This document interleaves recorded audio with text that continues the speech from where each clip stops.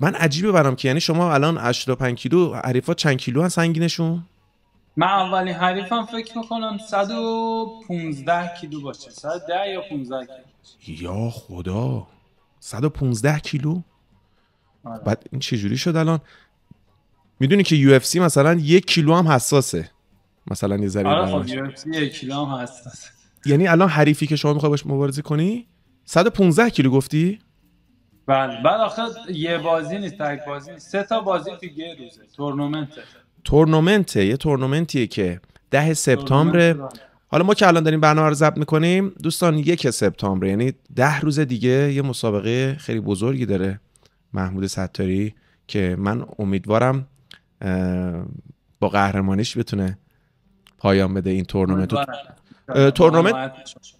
تورنمنت شرکت کردی قبلا یا فقط تک مبارزه بوده همیشه؟ بله من پارسال همین پارسال بود